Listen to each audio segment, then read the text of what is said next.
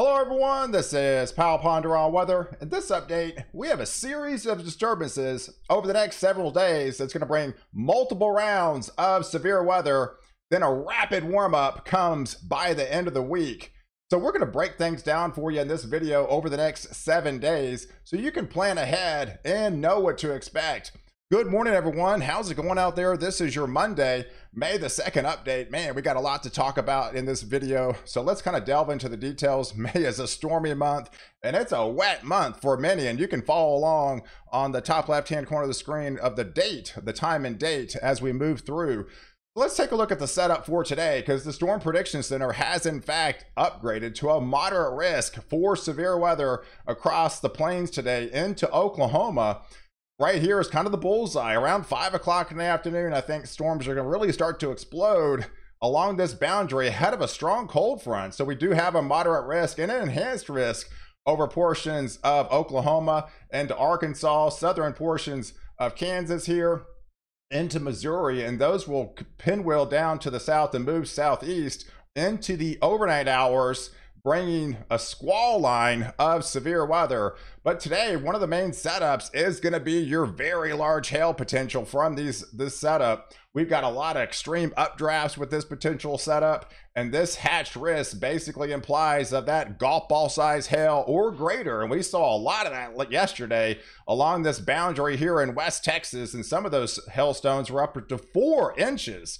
in diameter. And so you could actually see some of that today with these updrafts potential. Cloud tops reaching over 50,000 feet at times has that potential in the atmosphere. So yes, it is a stay high alert uh, of this setup with large hail potential into southern portions of Kansas and Oklahoma, going into uh, Missouri through portions of Arkansas here, and then it will fade down with the hail threat as it pinwheels further south into portions of Texas and ex- extends into portions of western uh, Tennessee. But also, a main concern is the tornado potential as well, where they do have yet another hatched risk for tornadic activity. And that not only can you see a few tornadoes in this area, but also a few strong tornadoes of those EF2 type variety with cloud tops reaching up, you know, upwards to 50,000 feet today yes, that definitely has that potential to create that very large hailstones and a strong strong tornado or two in this area. So I'm going to be going live around five o'clock this afternoon to definitely keep you ahead of the storm so you can stay high alert and get all the watches and warnings well ahead so you can plan ahead and be in your safe zone to ride these storms out. But tomorrow, along the cold front, that just pushes off into portions of Kentucky into portions of the Ohio Valley with a marginal to slight risk, not nearly as intense as what you're going to be seeing today because there's going to be a pretty strong cold front that's going to be moving through on the backside of this system. But yet we have another disturbance that's going to be moving in into this uh, pretty much the same areas, almost going to be impacted today across Kansas into Oklahoma, into portions of Texas here, with yet another enhanced risk for severe weather on the table, with all three modes of severe weather definitely in store again for your Wednesday, May the 4th. And that continues to push off to the southeast. And this is the day four risk, guys. It's already an enhanced risk for severe weather across the portions of the Arklatex here, portions of the deep south into the southeast here into western Tennessee and parts of uh, Kentucky here. So I expect this risk to expand as it gets a little bit closer in time. So let's take you through the overall setup for the next 60 hours on the composite reflectivity to kind of give you an idea of where the stronger storms could be and some of the snow. that's the blue. That's some snow flying up here but yeah, we have a pretty significant trough. and We're going to be seeing these series of troughs that are going to be coming off into the Pacific Northwest, pinwheeling across the country, bringing all that instability in play, but bringing some cooler temperatures underneath those troughs as well. So this morning, around nine o'clock here, uh, we've got some rain showers moving into parts of Washington and Oregon. And underneath that, at the higher elevations, that blue is some snow flying. In fact, they do have some winter weather advisories up here into portions of Wyoming and to Nebraska. Some of these two to four inches today, and could be some isolated spots of six inches of just kind of a heavy, wet snow up there. But all that instability that went through Texas uh, last night has now shifted and pushed through Texas.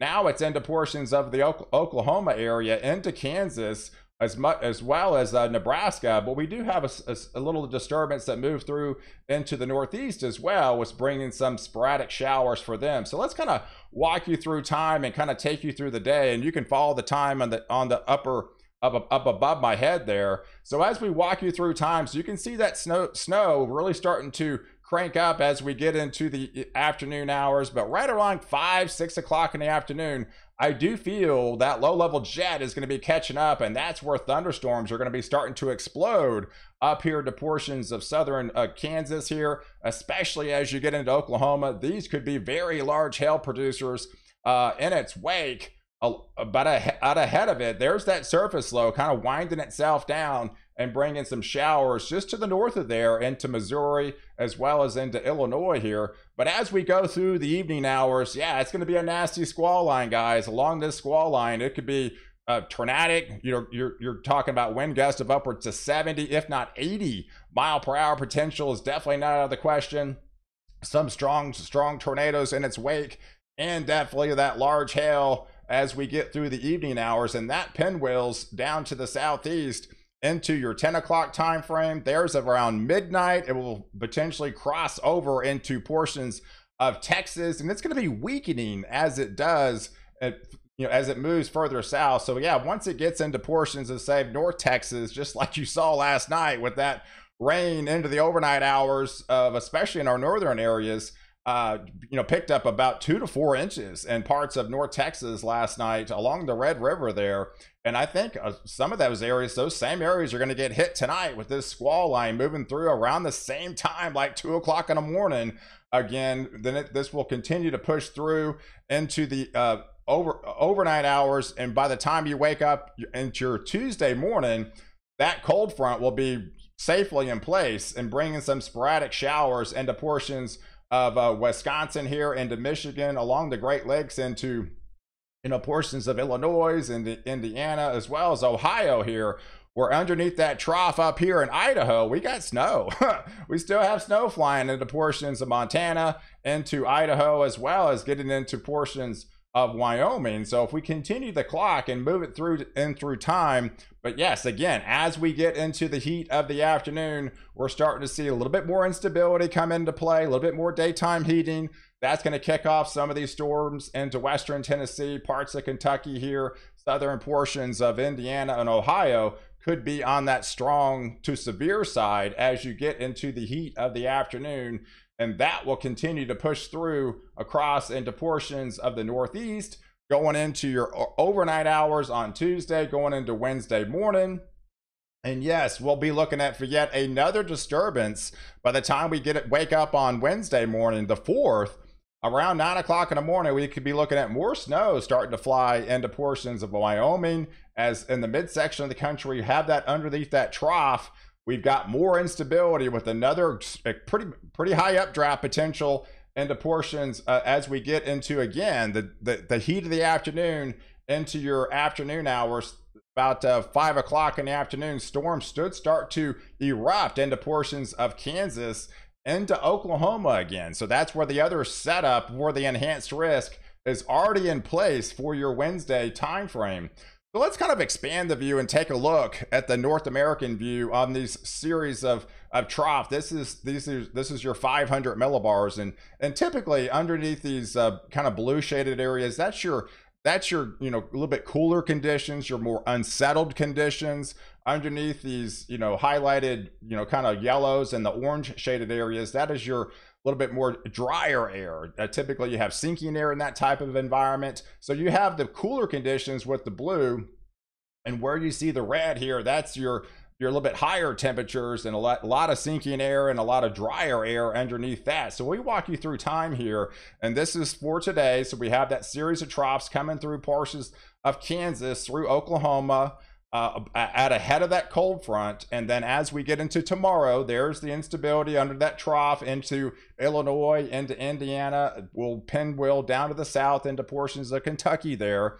But yet we have another trough that's going to be diving in off off the off the Pacific Northwest that's going to be moving through the midsection of the country. So by the time we get into your Wednesday afternoon, that's going to be setting up over portions of Kansas into Oklahoma, back into Texas again.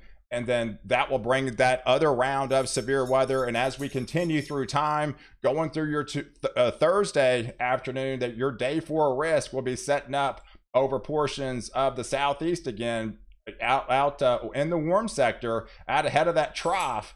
Uh, so we can see the big trough in the midsection of the country, bringing all that unsettled conditions. And that's where the severe threat is going to be still high for the next uh, several days to come. But as this moves through on the backside, we've got a pretty significant ridge that's going to be building into parts of California, building in parts of uh, the, the, the Four Corners region, especially going into Texas as you get into the weekend. But yet we have another pretty significant trough that's going to be diving in into portions of British Columbia here, into Alaska, back into portions of the Pacific Northwest, with bringing much well below average temperature anomalies and more unsettled weather for them. So that's into your Friday time frame because yes, as we go into your weekend, you can see this massive ridge really starting to develop uh, back behind it. So it's going to be fairly warm weekend in the midsection of the country as we have developing uh, ridge going to be taking place. But on either side of it, uh, we've got unsettled weather that's going to be moving out of Thursday, heading into Saturday, and bringing all that some unsettled weather into portions of the Tennessee Valley, shifting off into the south, shifting off into the East Coast there. But yes, we have that other trough that's going to be really building as we get into your, you know, your weekend time frame. But man, it's going to be a pretty warm weekend, a warm Mother's Day for the midsection of the country, but much colder and cooler conditions and more unsettled conditions by the time you get into Mother's Day for much of the of, of the West Coast. And yes, with this developing trough that's going to be digging in of, of much much of the West Coast, I mean, that's just kind of basically reloads the system out ahead of it. Where you got a developing ridge, and then you got a trough on the backside. So we'll we'll probably be talking about more severe weather, you know, as we get into uh, into next week time frame as well. So let's take a look at the overall surface map. So this is the the latest European model. So we'll take you through the next uh, seven days or so to kind of give you an idea of, of where the rain showers are going to be and where some of the snow is going to be flying and where you can just expect to see the sun. so as we walk you through time, so we got that instability in the midsection of the country. We talked about bringing that snow showers in parts of the Nebraska. There's that low pressure system for uh, as we get into you know the overnight time frame pulling through the central part of the U.S out ahead of that cold front that's going to be moving through today. There's that trough underneath here where we got all that unsettled weather and those cooler conditions is going to be cold enough to snow into parts of Wyoming into uh, Idaho there on Tuesday, and that will shift off into the East Coast with uh, with uh, some a little bit more unsettled weather and some sporadic snow showers. We have that developing trough that's going to be digging into the midsection of the country with more with with a more kind of heavier snow and uh, light, heavier snow moving into portions of the Rocky Mountains there. Wednesday, we got that other setup moving through parts of, uh, uh, you know, Oklahoma into Kansas, pinwheeling back south into into Thursday and portions of the southeast. We have yet a again another se- series of troughs that's going to be digging in off the off the Pacific Northwest with this with that low pressure system going to be that trough in the midsection of the country underneath that with underneath that trough we have these series of low pressures going to be moving through the ohio valley on on friday. Not severe stuff but still going to be bringing some unsettled weather. As we look towards the weekend uh, we have yet again our eyes will be up, up towards the pacific northwest into british columbia right off the coastline here. Some rain showers along the coast up in the higher elevations. We're still going to be talking about snow because it's definitely going to be cold enough but in the midsection of the country, you can see these these darker oranges here. That's that developing ridge that's going to be taking shape in the midsection of the country with well above average temperature anomalies. You know, as we move through your your Mother's Day uh, weekend, and then yes, as we get into you know say next Monday time frame, yes, we have a that trough is going to be really starting to dig in, bringing well below average temperature anomalies for the Pacific Northwest. So let's take a look at some of those temperatures, right? So here's here's the setup for today. So we have this we have the setup going into this afternoon, but underneath that, look at that. I mean, you can follow along in the the bottom bottom of the screen here. And here's the graph. This is what your your temperature anomalies of what you would typically see this time of year. So all the red shaded areas are anywhere from 10 to 15 upwards to 20 above average temperatures. So you start getting to these greens that's about 10 degrees below average. You start getting to these purples, that's that's upwards to 20 if not 25 degrees below average. So that's why it's snowing. That's why it's snowing at the portions of, of nebraska here and the portions of wyoming. Let's just follow along here as we move through. So you can see it's a fairly significant uh, cold front for may standards moving through the central plains uh, you know on the back side of that severe weather that you're going to be seeing today uh, but as we move in through Tuesday, going into Wednesday, we've got that again another trough that's going to be digging into the midsection of the country. Uh, but, but, but, but by the time we get into Thursday, we have that ridge, right? So we have that pretty much pretty good ridge can be starting to develop off here into the desert southwest, parts of Cali- California here. Going to be a, seed, a, a rapid warm up into portions of uh, Wyoming here, you know, Montana getting into Wyoming and then we yet we have that other big warm up that's really going to be starting to really take shape. We've got a pretty significant ridge that's going to be building into the Four Corners regions into Texas. That's going to really extend all the way up into Canada. So these are well above average temperature anomalies of a good 15 to 20, if not upwards to 25 degrees above average temperatures at times.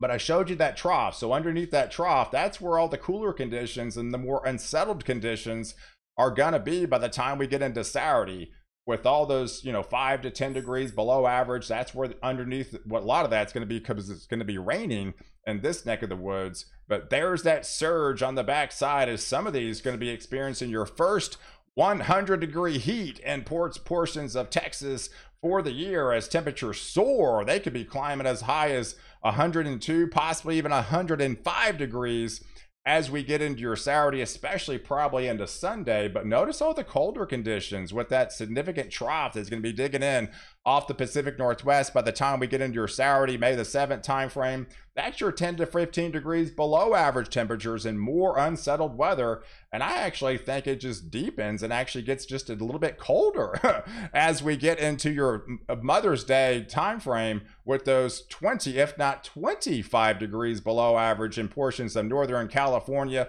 into Nevada here at portions of Utah. But look at this, guys.